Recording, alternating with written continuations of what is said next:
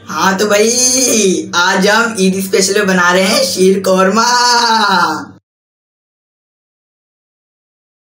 और मेरे चटोरो, कैसे हो आप? मेरी जानिब से आप सबको दिली ईद मुबारक हो। तो आज हम ईद स्पेशल में बना रहे हैं ईद की जान शीर कौरमा। चले बनाना शुरू करते हैं। शीर कौरमा बनाने के लिए सबसे पहले हमें दूध चाहिए। दूध हमने लिया है एक किलो।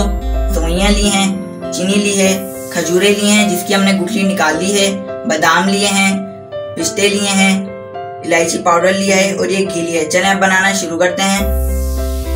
सबसे पहले हमने एक बर्तन लिए, अब हम इसमें डालेंगे घी। अब हम इसमें डालेंगे सोइया और सोइया को हम फ्राई करेंगे।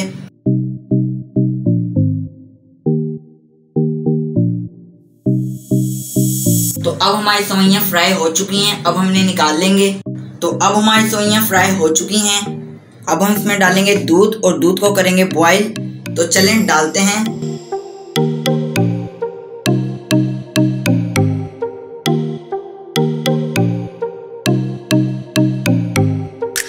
तो अब हमारे दूध में बॉयल आ चुका है।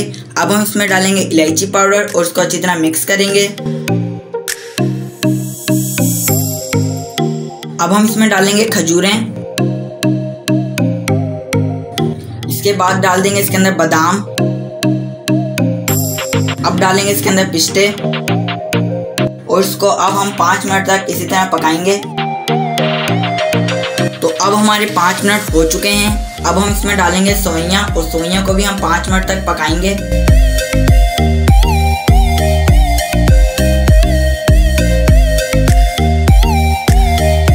मुझे इसमें थोड़ा दूध कम लग रहा था, इसलिए मैंने इसके अंदर थोड़ा दूध और ऐड कर लिया है। अगर आपको भी कम लगे तो आप भी ऐड कर सकते हैं। अब हम इसमें डालेंगे चीनी और उसको अच्छी तरह मिक्स करेंगे और इसे डिश आउट कर लेंगे।